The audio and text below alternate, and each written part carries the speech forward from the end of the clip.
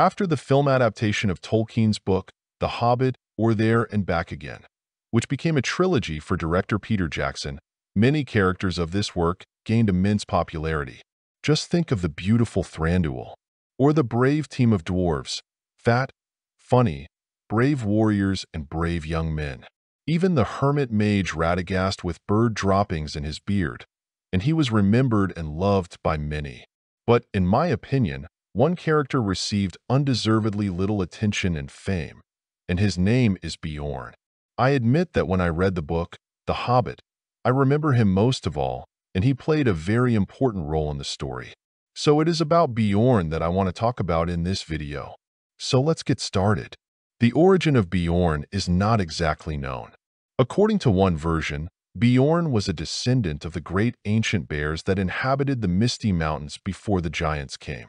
According to another, which Gandalf believed to be the closest to the truth, he was descended from the first men who had lived in those lands before Smaug and the other dragons came, and before the goblins who came from the north took over the hills. Regardless of his origins, however, Beorn was a mortal man, though he possessed minor magical powers and could change his appearance into a bear. At the same time, no one cast spells on Beorn, except for himself. Beorn lived in a large wooden house in a grove of oak trees between the eastern bank of the Anduin and the western edge of the Black Forest. Near the dwelling were bee pastures, mostly consisting of various types of clover. Beorn's domain was surrounded by a high thorn hedge with a large gate made of wood. Behind the hedge were gardens, orchards, and a few low wooden buildings. There were also numerous rows of beehives. In human form, Beorn looked like a tall, muscular man with thick black hair and beard. He wore a woolen tunic that reached to his knees. He had considerable strength.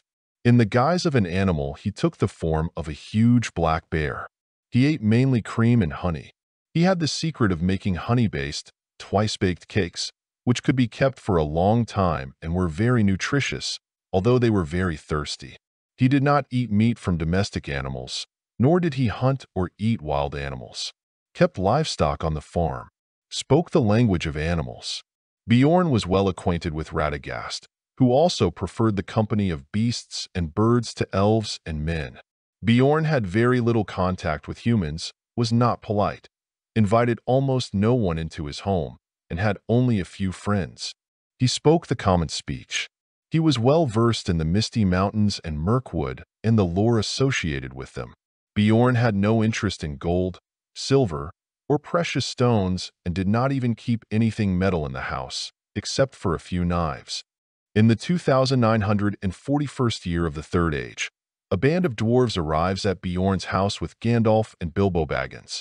Beorn disliked the dwarves, but had heard of Thorin Duboshield and respected him. Having learned about the dwarves' clash with goblins and wargs, their worst enemies, and having personally verified the truth of the story, Beorn changes his attitude towards the dwarves for the better and decides to help the group with all his might.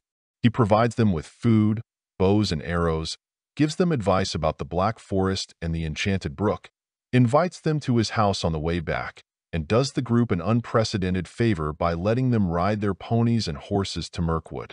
In addition, in the guise of a bear, Beorn himself secretly accompanies them on their journey to Mirkwood, guarding both travelers and animals. Beorn learns of Smaug's death before Thranduil's army has even set out.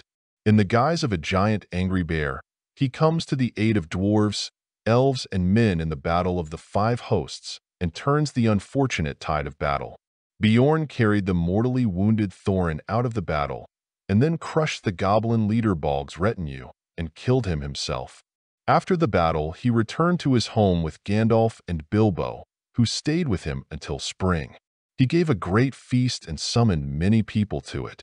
Beorn later became a great leader of men and ruled over the vast lands between the Misty Mountains and Mirkwood.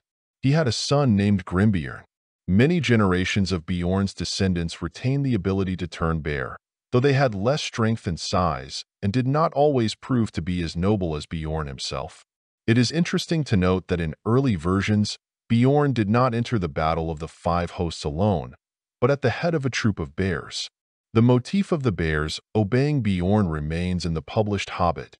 For example, on the night that the dwarves stayed in his house, Bjorn organized a general gathering to which many bears of various species came. One of the unexplained elements of Bjorn's character remains his spell. In the draft Tolkien writes, he has cast a spell on himself and can become a bear at will.